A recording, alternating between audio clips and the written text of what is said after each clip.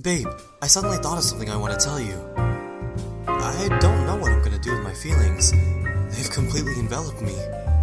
If I get through this, I'm going to officially ask you to be my girlfriend. You don't need to think about it now. I don't want to hear an answer right now. I'm just telling you because you should have some time to think seriously about me. I'm really proactive, aren't I? Um, I'm not saying this because I think it'll help you answer, but, um, and I really don't think it will, but I can make a pretty good husband. I tell you where I am all the time, I'm good looking, I'm nice, and I do what I'm told. I'm a workaholic, so I'll never drink with my friends until late and come home late. Besides, I'm incredibly romantic when we're alone. Hmm. I'm nervous that you're not saying anything. Is it too early for this? Ugh.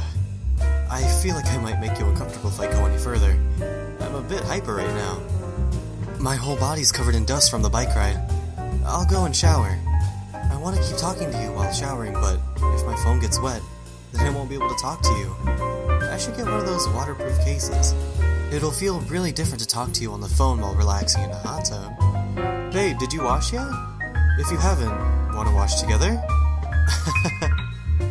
Wanted to say this. Don't be so shy, and rest up, my love. I'll call you again.